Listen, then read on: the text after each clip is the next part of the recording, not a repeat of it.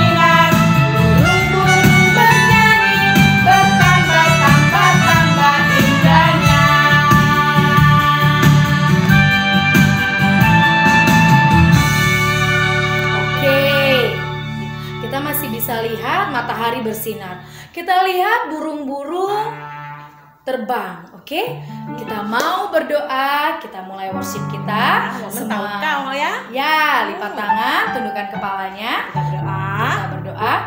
Tuhan Yesus, kami mengucap syukur untuk kebaikan Tuhan dalam kehidupan kami. Terima kasih Tuhan, walaupun kami mengikuti worship melalui video, tapi kami percaya Engkau berada di tengah-tengah kami. Tolonglah kami supaya kami dapat mengikuti worship dengan tertib, mendengarkan firman-Mu dan melakukannya dalam kehidupan kami. Terima kasih ya Bapa, ampunilah setiap dosa dan pelanggaran kami, layakkanlah kami untuk boleh menjadi anak-Mu. Hanya di dalam nama Yesus kami berdoa.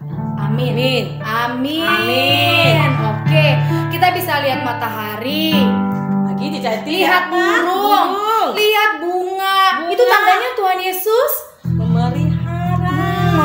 kita. Dia Ya. juga sangat baik. Yuk, Berkati kita Ya. juga menjadi. kita nyanyi yuk. Tuhan Yesus baik. Tuhan Yesus baik. Ya,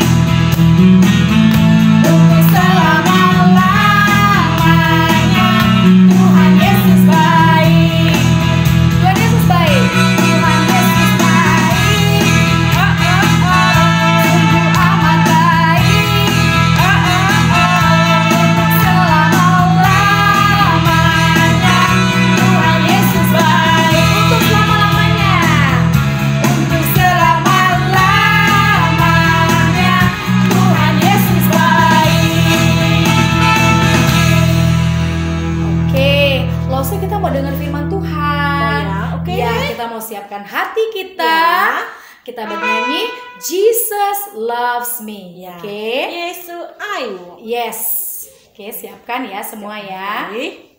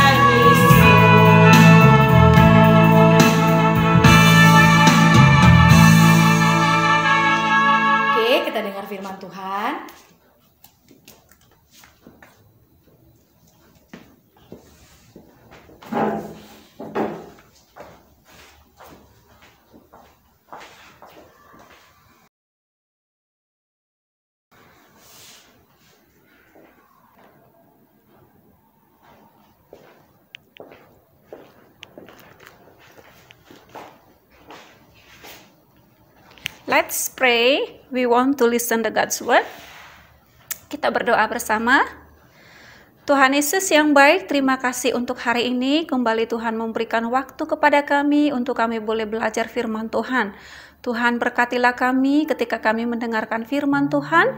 Berbicaralah Engkau kepada kami setiap pribadi. Terima kasih Tuhan, kami serahkan waktu ini ke dalam tangan kasih Tuhan. Kuasai hati dan pemikiran kami. Di dalam nama Tuhan Yesus Kristus kami berdoa dan mengucap syukur. Amin. Oke, shalom semuanya anak-anak teacher yang ada di rumah. Apa kabar kamu hari ini? Tetap sehat?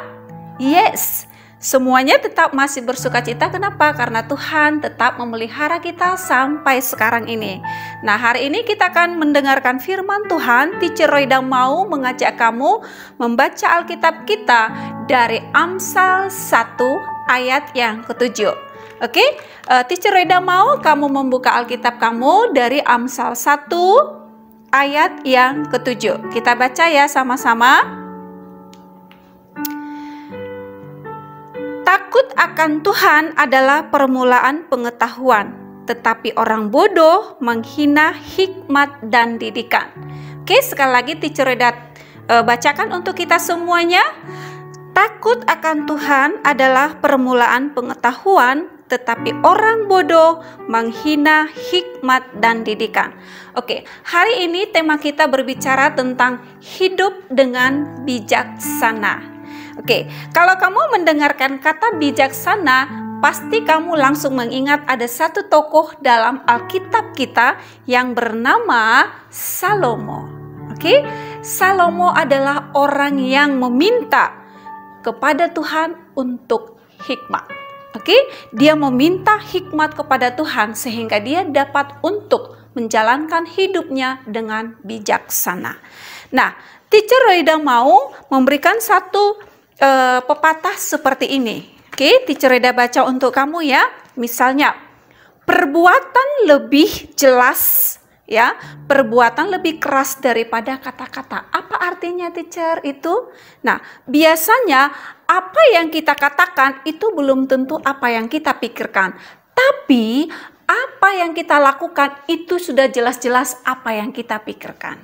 Nah, hari ini teacher Reda mau mengajak kamu bagaimanakah kita supaya hidup dengan bijaksana. Oke, kita lihat ya. Uh, salah satu buku dari kitab kita yaitu Amsal. Oke, Amsal bisa kita temukan di dalam Perjanjian Lama. Oke, kamu bisa menemukannya. Amsal itu terletak di bagian Perjanjian Lama. Kitab Amsal bertujuan untuk apa? Oke, Kitab Amsal bertujuan untuk mendidik umat tebusan Allah tentang bagaimana menjalani kehidupan yang beriman dalam berbagai keadaan hidup. Seperti sekarang, bagaimana kita menjalani kehidupan kita dengan sekarang? Mungkin kamu sudah mulai jenuh dengan apa? Wabah virus corona yang masih berlangsung sampai saat ini. Kamu sudah belajar dari rumah sudah lebih dari enam bulan. Kamu merasa bosan? Ya, pasti. Tapi ketika kita mau bersandar kepada Tuhan, kita bisa menikmati, kita bisa bersyukur. Kenapa? Kita bisa menjalani hidup kita oleh karena Tuhan yang memimpin kita. Nah, apa yang dikatakan Amsal kepada kita? Apa yang bisa kita pelajari dari kitab Amsal? Oke, yang pertama, kitab Amsal akan mengajarkan kepada kita untuk memperoleh hikmat. Seperti yang kita sudah baca tadi dari Amsal 1 ayat yang ketujuh. Oke, takut akan Tuhan adalah permulaan hikmat. Oke, kitab Amsal mengajarkan kita untuk memperoleh hikmat. Yang kedua, dari kitab Amsal kita mengetahui bahwa Allah sumber segala hikmat. Oke, dari kitab Amsal kita dapat mempelajari bahwa Allah sumber segala hikmat. Yang ketiga, kita dapat mempelajari hormat kepada Allah adalah dasar hikmat. Oke, dan yang keempat, setia kepada Allah berarti hidup dengan bijaksana bukan dengan bebal. Itu yang dapat kita pelajari dari kitab Amsal. Karena itu teacher Reda mau menghimbau seluruh anak-anak teacher dari uh, Matthew level sampai Romans level, kamu boleh membaca Alkitab kamu, khususnya kitab Amsal, setiap hari boleh kamu jadikan menjadi renungan kamu. Karena melalui kitab-kitab ini, melalui ayat firman Tuhan yang kita baca, akan mendidik kita untuk memperoleh hikmat. Nah, sekarang yang berikutnya, di dalam firman Tuhan ya, dalam kitab Amsal ini ada dua karakter yang dijelaskan. Misalnya, yang pertama adalah orang yang bijaksana. Oke, yang kedua adalah orang yang bebal atau yang disebut dengan orang bodoh. Nah, sekarang teacher Roida mau menjelaskan apa yang dikatakan Alkitab orang yang bodoh dan apa yang dikatakan orang yang bijaksana menurut kitab Amsal. Oke, teacher Reda mau mengejak kamu orang yang bijak dia akan mempercayai dan mentaati Allah. Yang bijaksana, dia tidak akan menganggap dirinya sendiri bijak. Teacher Reda mau mengajak kamu membuka Alkitab kamu kembali dari Amsal 3 ayat yang ke-5 sampai dengan ayat yang ke-7. Teacher Reda baca ya untuk kita. Oke, Amsal 3 ayat 5 dan ke-7. Percayalah kepada Tuhan dengan segenap hatimu dan janganlah bersandar kepada pengertianmu sendiri. Akuilah dia dalam segala halakumu, maka ia akan meluruskan jalanmu. Jangan engkau menganggap dirimu sendiri bijak, takutlah akan Tuhan dan jauhilah kejahatan. Orang yang bijaksana, dia mempercayai dan mentaati Allah. Orang yang bijaksana, dia tidak akan menganggap dirinya sendiri bijak. Mengapa? Karena dia tahu dirinya memiliki kelemahan. Karena dia tahu bahwa Allah lah satu-satunya sumber hikmat di dalam kehidupannya. Kemudian orang yang bijaksana, dia pasti akan menjauhi kejahatan. Dan yang berikutnya, apa yang bisa kita pelajari? Seperti apa orang yang bijaksana yang Amsal katakan? Mendatangkan sukacita bagi orang tuanya. Kamu bisa membuka Alkitab kamu lagi di dalam Amsal yang ke-10 ayat yang pertama. Teacher Rida baca ya untuk kita semua. Anak yang bijaksana mendatangkan sukacita kepada ayahnya, tetapi anak yang bebal adalah kedukaan bagi ibunya. Oke, sekarang teacher Rida mau mengingatkan kamu. Apakah kita, apakah kamu anak-anak yang bijaksana? Oke, teacher Reda sudah menjelaskan. Jika kita adalah orang-orang yang bijaksana, maka kita harus mempercayai dan mentaati Allah. Tidak menganggap diri kita sendiri bijak. Lalu kita akan menjauhi kejahatan dan kita pasti akan mendatangkan sukacita bagi orang tua kita. Bagaimana caranya kita mendatangkan sukacita kepada orang tua kita? Dengan mentaati apa yang diperintahkan orang tua kepada kita. Tapi ketika kamu mencoba untuk tidak taat kepada orang tua, maka itu adalah akan mendukakan hati orang tua kita. Dan yang terakhir, seperti apa yang Amsal katakan kepada kita, orang yang bijaksana itu seorang teman yang baik. Sekarang teacher Reda bertanya kepada kita, apakah kita menjadi seorang yang baik bagi teman kita? Seorang teman yang baik bagi papa mama kita? Jika kita adalah anak-anak yang memiliki hikmat, orang yang bijaksana, maka kita akan bisa memilih mana yang berkenan di hadapan Tuhan, yang sesuai dengan kehendak Allah. Berbeda dengan orang yang bebal. Apa yang Amsal katakan di dalam kitab Amsal ini? Oke, orang yang bebal atau orang yang bodoh dia berbuat seolah-olah tidak ada Allah yang melihat segala sesuatu yang diperbuatnya. Mengapa? Karena di dalam Amsal 1 ayat yang ketujuh dijelaskan di situ, ya. Tetapi orang bodoh menghina hikmat dan didikan. Jadi orang yang tidak mau belajar, orang yang tidak mau mencari kebenaran, yang menganggap dirinya sendiri bijak, yang menganggap dirinya itu adalah kemampuannya, itu disebut orang yang bodoh. Itu disebut orang yang bebal. Mengapa? Karena dia berpikir semua apa yang dilakukannya itu, itu oleh karena kekuatannya sendiri. Nah, tapi teacher Rida berharap semua anak-anak teacher di rumah tidak berpikir seperti itu kan? Kamu tidak menganggap diri kamu paling hebat kan? Tidak menganggap diri kamu yang paling oke okay dari orang lain kan? Ya kan? Teacher Reda percaya akan hal itu. Dan yang kedua, orang yang bebal itu dia menghina hikmat dan didikan. Tidak mau diajari. Ketika orang tuanya memberikan nasihat, dia membantah. Ketika teman-teman memberikan teguran ketika dia salah, dia menolak, tidak mau menerima. Bebal, tidak mau mendengarkan apa yang dikatakan. Itu orang yang bebal tidak mau melakukan firman Tuhan, tidak mau mendengarkan, tidak mau ditegur, itu adalah ciri-ciri orang yang bodoh. Teacher Reda percaya semua anak-anak teacher di sini adalah anak-anak yang pintar. Mengapa? Karena kamu sudah menunjukkan kamu orang yang percaya dan mau mentaati firman Tuhan. Kamu tidak menganggap diri kamu sendiri bijak, tapi kamu percaya kepada Tuhan. Kamu mengandalkan Tuhan. Karena itulah kamu mau mendengarkan firman Tuhan saat ini. Kenapa? Karena kamu tahu firman Tuhan akan berbicara kepada kamu. Sama juga dengan kepada teacher Reda. Orang yang bodoh, orang yang bebal, dia tidak menghormati orang tuanya. Ya, tapi teacher Roida sudah jelaskan tadi. Orang yang bijaksana, dia akan mendatangkan sukacita bagi orang tuanya. Tapi orang yang bebal, dia akan membuat orang tuanya merasa sedih. Apakah kamu anak-anak teacher yang membuat orang tua selalu bersukacita?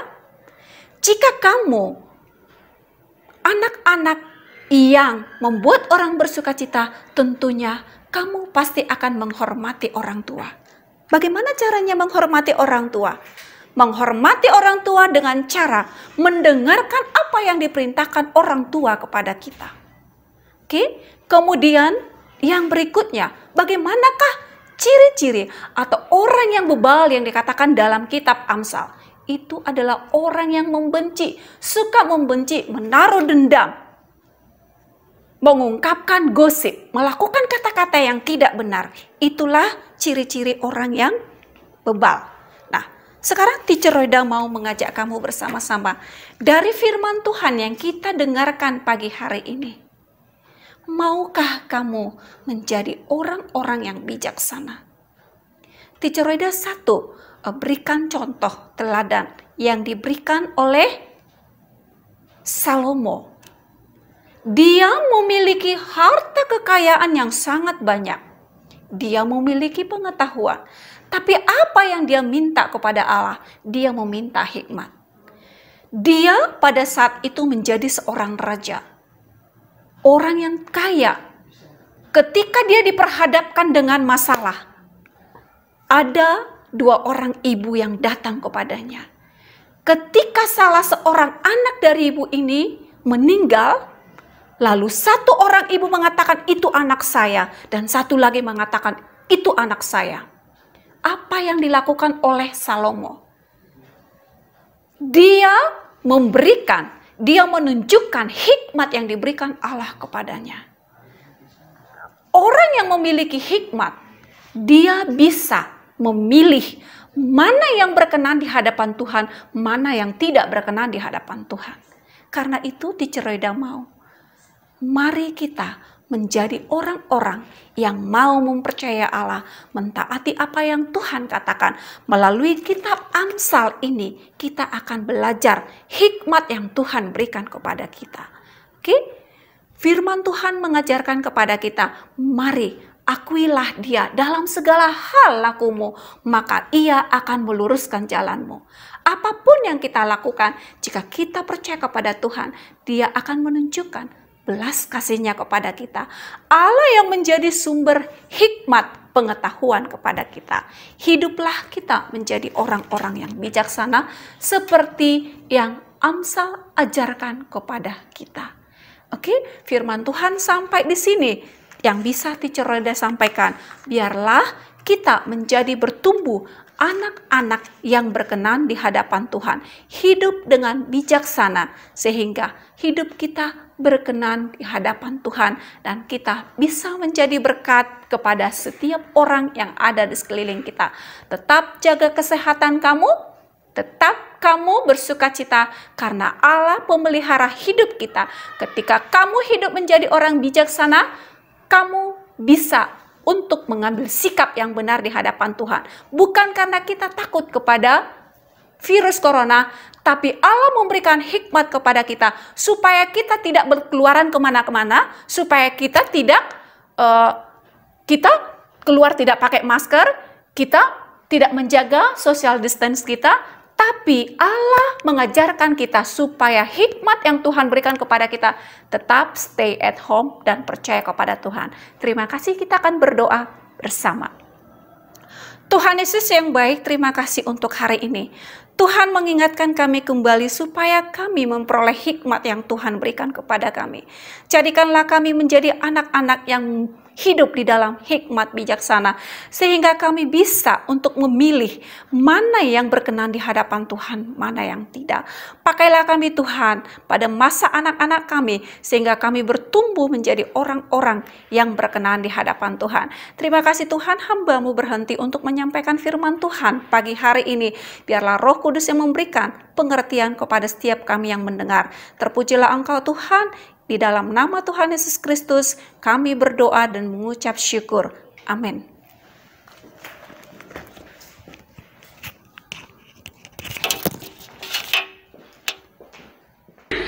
Halo anak-anak, waktunya kita mau reverse. Ayo, ambil Alkitabnya ya. Sama-sama kita buka Alkitab kita dari Amsal 2. Ayo, masih ingat kan di mana letaknya? Amsal 2 ayat yang ke-6. Oke, Amsal 2 ayat yang ke-6. Kita baca sama-sama ya. Karena Tuhanlah yang memberikan hikmat. Dari mulutnya datang pengetahuan dan kepandaian. Sekali lagi ya. Karena Tuhanlah yang memberikan hikmat, dari mulutnya datang pengetahuan dan kepandaian. Oke, coba kamu perhatikan layar yang eh, teacher buat ini pada screen. Teacher ada kasih di sana puzzle diisi titik-titiknya ya. Coba ya. Karena Tuhanlah yang memberikan titik-titik, dari mulutnya datang pengetahuan dan titik-titik. Oke, untuk mengisi titik-titik itu, anak-anak teacher boleh eh, di- dijawab pada komen kolom komentar, oke? Jangan lupa tulis nama kamu, spasi kelas, spasi jawabannya. Oke, teacher tunggu ya. Oke Lose, kita sudah dengan firman Tuhan kan? Jadi kesimpulan hari ini, teacher Eti, Lause, semuanya kita harus hidup seperti orang yang bijaksana ya. Orang hidup bijaksana itu bahasa Mandarinnya apa ya? Lause? Mandarinnya adalah Cikui de senghuo. Oh, dengar baik-baik ya sekali lagi. Apa bahasa Mandarinnya Lause? Cikui de senghuo. Oke, mari kita berusaha untuk hidup bijaksana, oke? Ya. Kita mau menyanyikan satu lagu. Bapak tiada aku ragu sebelum kita doa syafaat ya.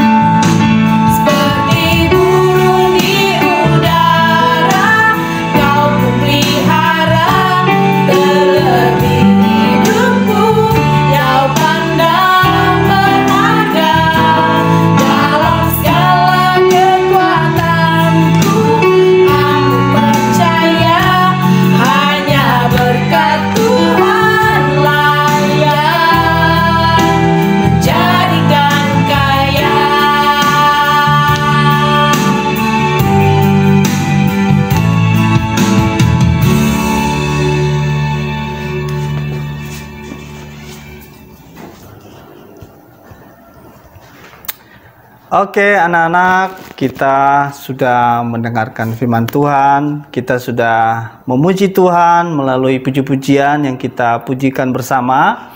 Nah, sekarang kita akan berdoa syafaat dan uh, saya mewakili sekolah guru-guru mengucapkan kepada anak-anak semuanya yang di bulan ini ulang tahun ya. Kiranya Tuhan memberkati kalian ya dan terus uh, kuat ya di dalam Tuhan sekalipun kamu belajar di rumah. Kita sih berdoa supaya cepat-cepat selesai corona dan kita ke sekolah ya. Bertemu kembali untuk belajar bersama. Oke kita akan berdoa. Mari kita berdoa ya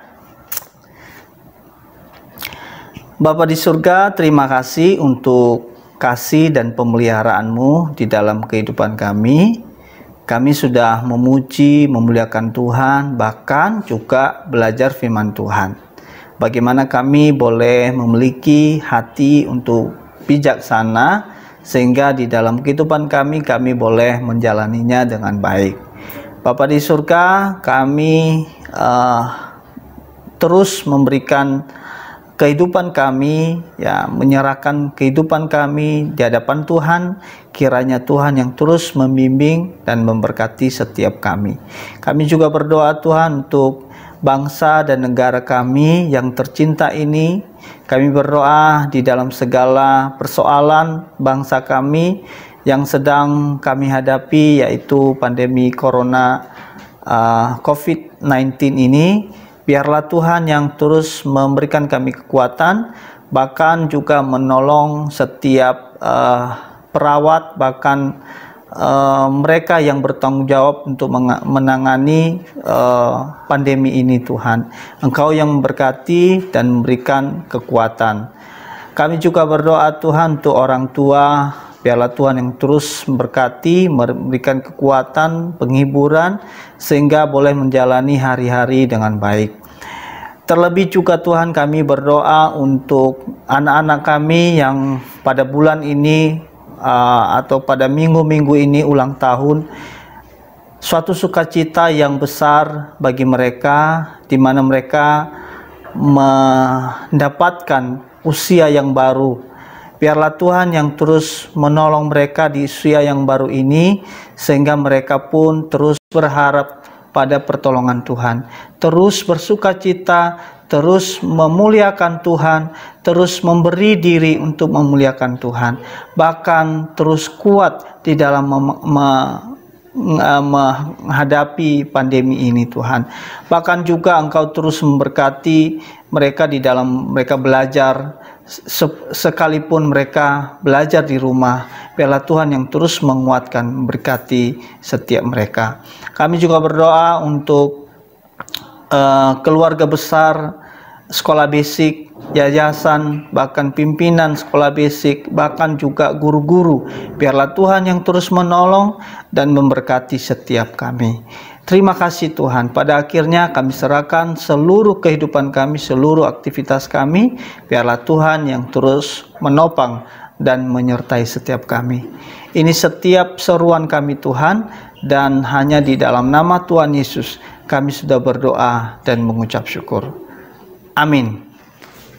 Oke Lause, kita sudah selesai ya. worship pada hari ini. Oke. Kita sudah dengar firman Tuhan, kita sudah mengetahui memory verse, doa syafaat juga. Oke. Ya. Nah, kalian tetap jaga kesehatan ya. Juga tak boleh ke mana-mana. Jangan ke mana-mana, tetap di rumah. Tetap di rumah saja ya. Oke. Kita kesehatan loh. Yes. Kita akhiri dengan menyanyikan lagu Bapak Terima Kasih.